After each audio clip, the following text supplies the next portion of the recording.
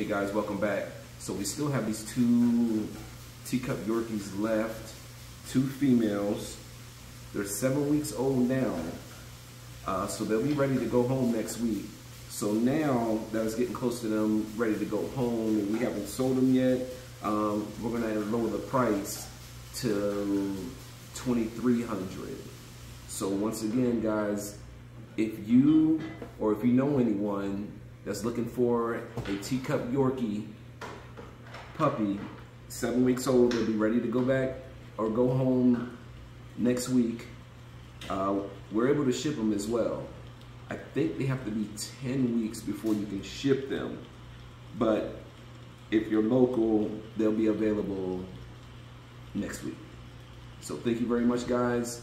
Once again, if you know anybody, let me know. 2300, seven weeks old. Have a good one.